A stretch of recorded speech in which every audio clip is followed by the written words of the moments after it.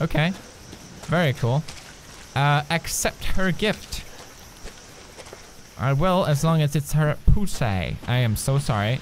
I can't help it. I may have Tourette's. I, I'm, I need to look into it. I know it's not funny.